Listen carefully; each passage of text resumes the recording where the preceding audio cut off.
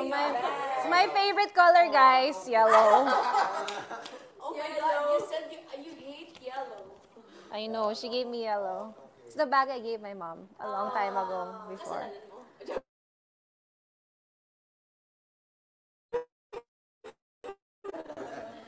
It's yellow. Favorite niya kasi ang color. Yellow. Okay. Uh, my dearest Karen, this is for my mom. Kamusta ka na? I am amazed at how fast you adjusted here in the outside world. Oof.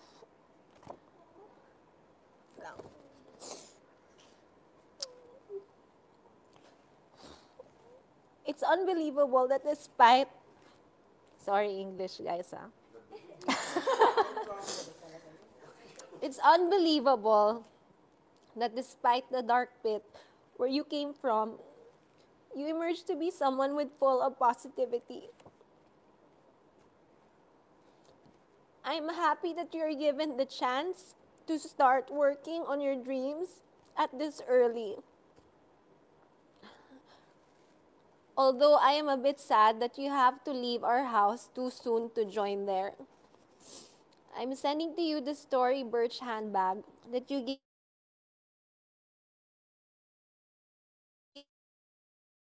me years ago. It was one of the special stuff that I treasure most because it was. now we know. yeah, guess.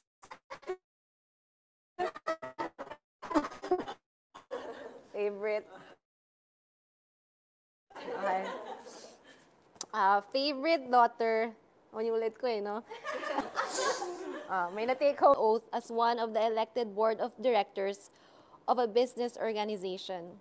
I really like this bag as I can put it inside not only my personal stuff but also some important documents that I carry for work. I like its I like its bright color although I know that you don't like the shade now. but knowing you, you will soon get over with it. You have been in the worst situations, Whew. but it never dampened your spirit.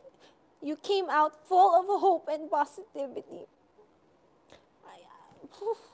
I know you will be able to inspire more people when you start sharing your experience. Uh, more people Okay. Continue to be the light and spread the love while you are there. In such short time, many people who are stressed out, downtrodden, depressed, lonely, and hopeless said they realize how blessed are how blessed they are after reading your blogs and blogs. Just being able to lift their spirit is already an accomplishment. Always remember that you have a mission to help others feel the love of God. Good luck in starting another chapter in your life. We all want you to succeed. Take care and stay safe always. We miss you and bear in mind that we are always there for you. Love you, Kerensky. Always, mommy.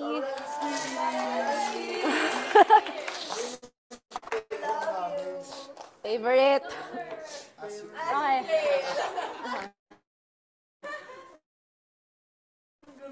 So, itong bag na to, bigay ko to sa mom ko kasi uh, ever since before, ako palagi namimigay sa family ko. Especially sa mom ko, gustong gusto ko talaga siyang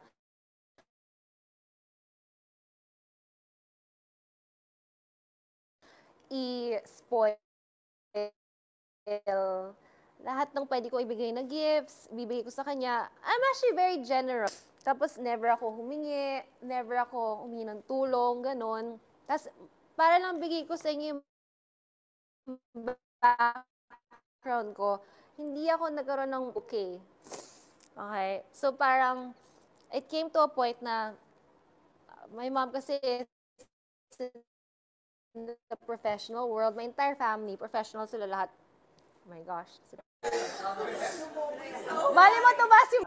Kuya, gusto po tissue na. Gamitin natin yung kanin. Teka lang yung carpet. Ay, hindi. Masyadong maganda yan. Okay. Alright. Tapos, yung, yung family ko, ah, in- yung entertainment world, kakaiba talaga sa kanila. Like, parang it's uh, bordering unacceptable. Kasi they're all professionals. Tapos ako, gustong gusto ko talaga express yung sarili ko. Kasi nung bata ako, binuli ako ng todo-todo, kinder to high school na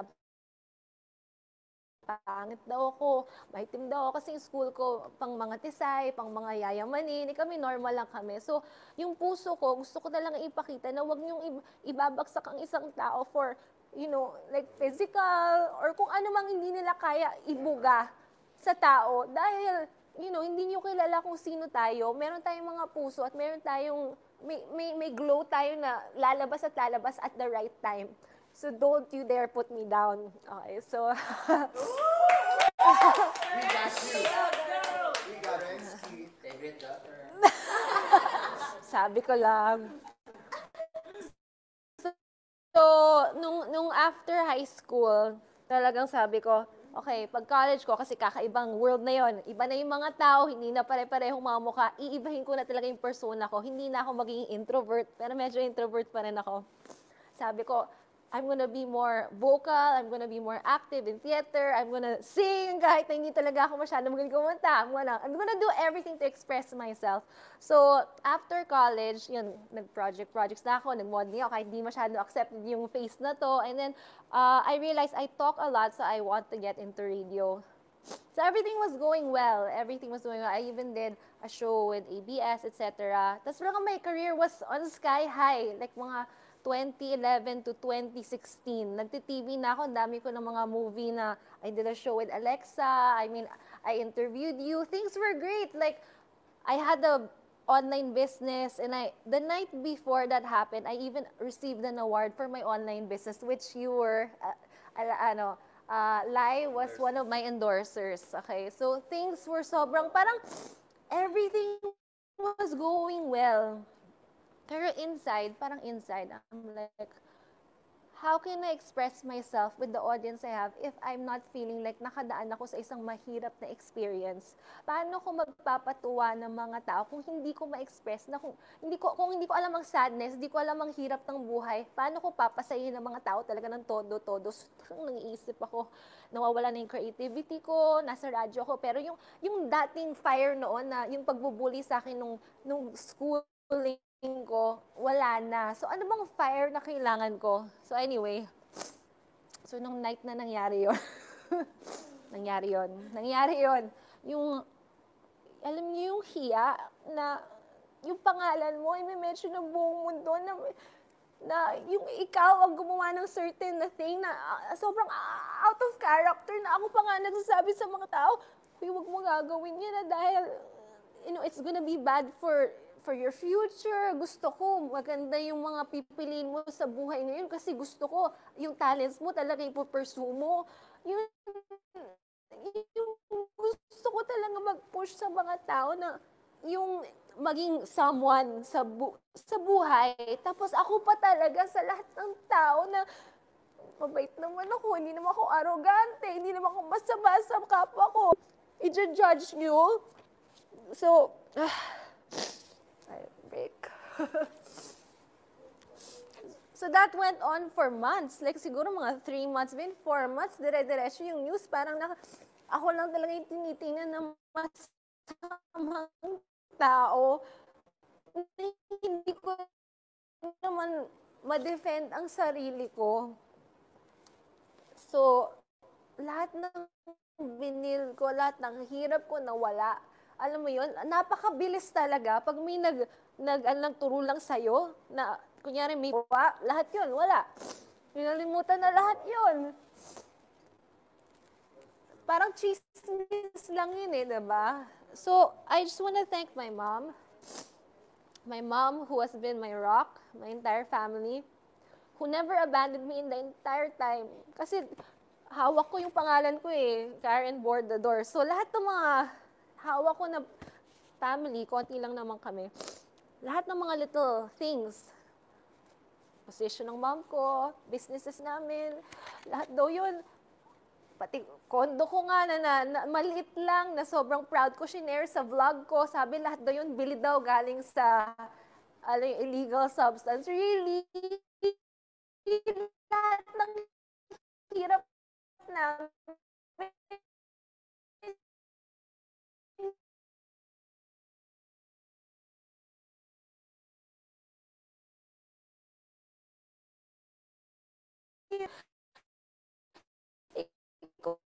I-connect nyo dun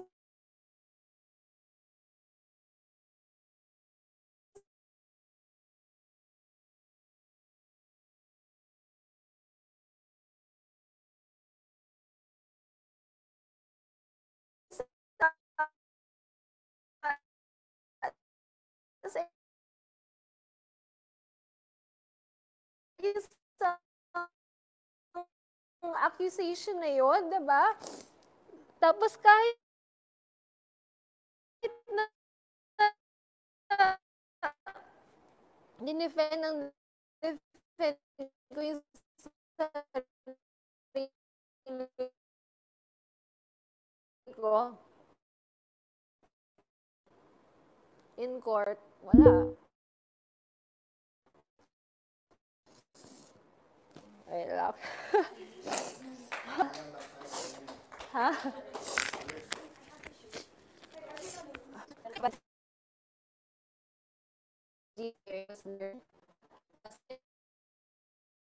One evening, and it went years and years, and it was so hard inside. Sobrang hindi nyo na-integration. Yung, yun na nararamdaman nyo. Alam ko yung, ram, yung sinasabi yung miss na miss na kayo. Imagine, five years ko pinagdaanan yun.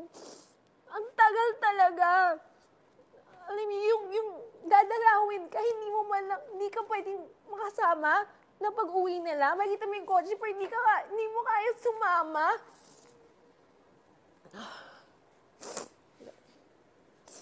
Magsasend sila, ah, magbibigay sila ng pagkain sa'yo. Tapos, alam mo yun, yung luto nila sa bahay yun. Tapos di ka kasama. Christmas, di ka na naman kasama.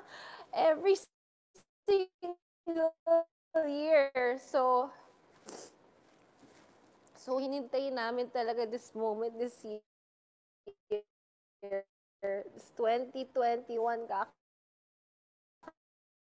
Iba po talaga si Lord. Kahit na is the pandemic, gumawa siya ng my year. I don't know how, I don't know why. It, it happened. Close tayo, di ba? Close na tayo. Okay, ano naman. Ako lang yung... Oh, eh.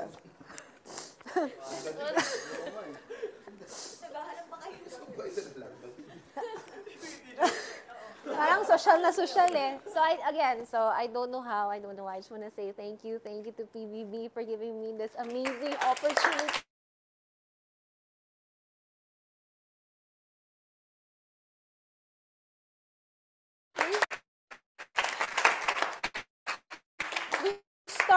Again? Kasi uh, ang hirap talaga. Hindi nyo- ang hirap um, mag-umpisa. Especially you guys you're like 18 19 25 I'm starting at what age? You know what I mean? Five years taken out of my life. Parang inisip ko na lang you know these were fruitful years of, of just controlling my heart and soul. And believing na talagang may magandang kalalabasan to. So now I'm here. God, it's God's time, you know. When He says it's time to shine, it's time to shine. So, Mom. Thank you, Dad. Thank you to my sisters, favorite daughter.